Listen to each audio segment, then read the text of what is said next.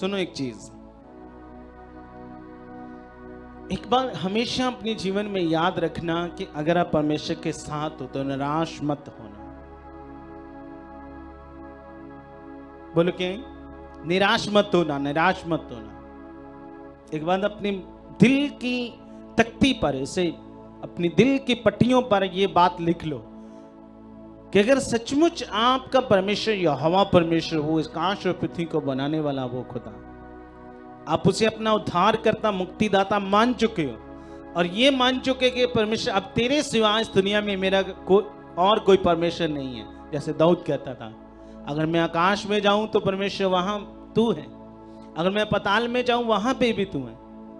हाँ? अगर मैं समुन्द्र पार जाऊँ तो वहाँ पे भी है। अगर मैं घोर अंधकार में अपने आप को छुपाऊं तो वहाँ पे।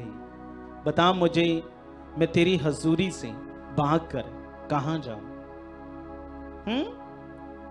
बता मुझे, तेरी हजूरी से मैं भाग कर कहा जाऊँ? इसलिए अगर आपके मन में वो परमेश्वर है, बोलो क्या है? तो निराश कभी नहीं होना। बोलो क्या है? क्योंकि मेरा ये प्रैक्टिकल है। बोलो क्या है?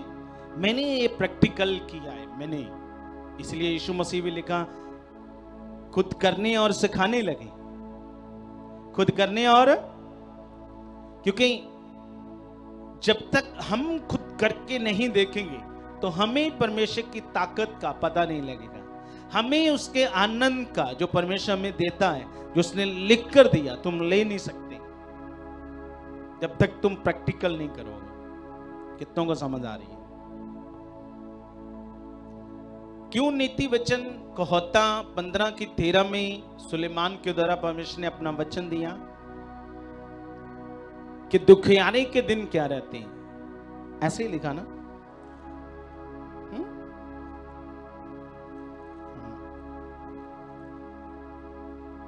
हाँ तो पंद्रह की तेरह में लिखा मन आनंदित होने से मुख पर भी प्रसन्नता छा जाती है।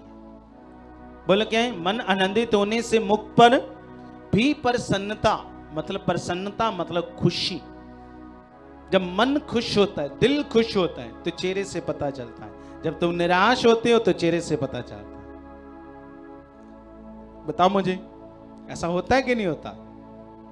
बताओ, ऐसा होता है कि नहीं होता?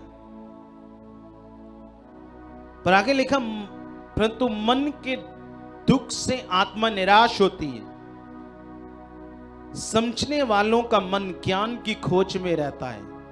परंतु मूर्ख लोग मूर्ता से पेट भरते हैं। और पंद्रह में लिखा, दुखियारे के सब दिन दुख भरे रहते हैं, परंतु जिसका मन प्रसन्न रहता है, वह मानो नित भोस में रहता है। नित भोस का मतलब पार्टी में रहता है, वो आनंद करता है। किसके साथ? बोलो, किसके साथ है?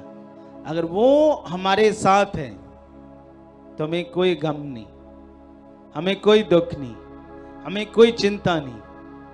अगर कौन हमारे साथ है, वो देख रहा है तुम्हें। वो जानता है तेरी लाइफ में किस चीज़ की ज़रूरत है, वो जानता है। और तेरी घटी को भी अफिसियों चार की उन्नीस में लिखा, वो महिमा सहित पूरी करेगा। तुम उसकी महिमा करो।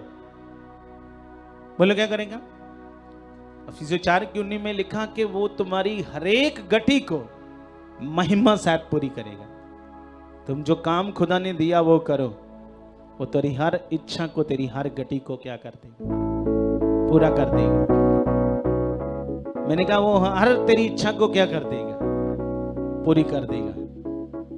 इसलिए लिखा, मन मन के दुख से आत्मा निराश होती है। जो खुदा ने आपको आत्मा दिया है, कितना पावरफुल है, कितना सामर्थ का आत्मा है, जो आपको मिला है। हमें तो मन के दुख से लिखा आत्मा निराश हो जाती है।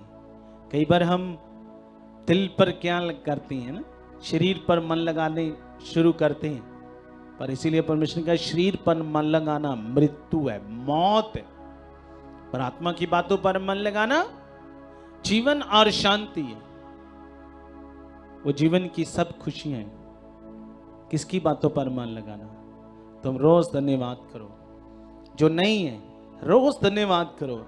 जैसे इब्रानियों ग्यारह की एक में लिखा, अनदेखी चीज़ों का विश्वास करो। रोज धन्यवाद करो। यस।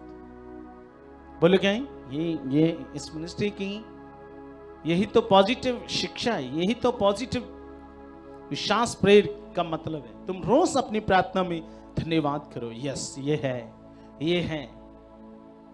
जो चीज़ नज़र नहीं आ रही, वो है। मैं हमेशा ही बोलता हूँ ना आपको, इस भवन में बैठने की जगह नहीं देखना ऐसा ही होगा। मैं आपको, मैंने लिख कर रखा, मैंने अपनी बाइबल में लिख कर रखा मैंने लिख कर।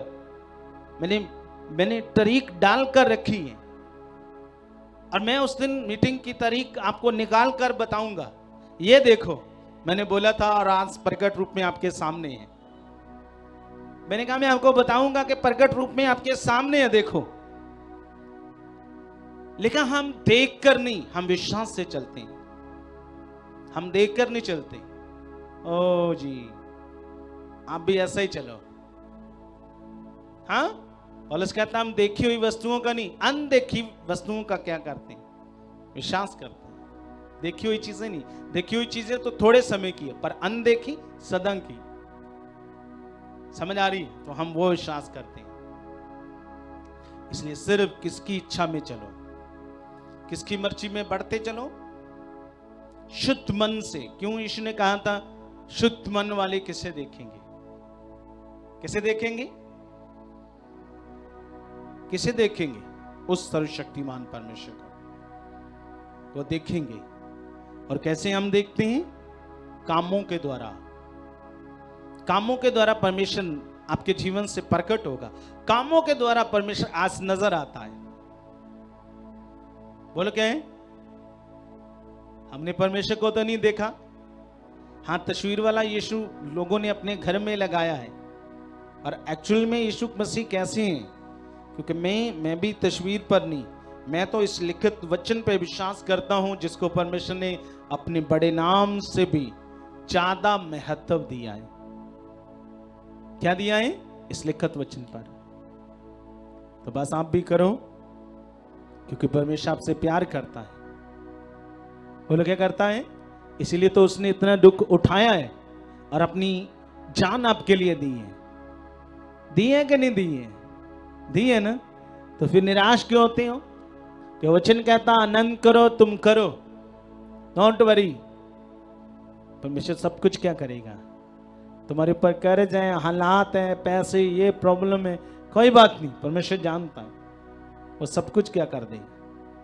बस एक काम करना है, उसकी इच्छा में, उसकी मर्ज़ी में आपने बढ़ना है। हमें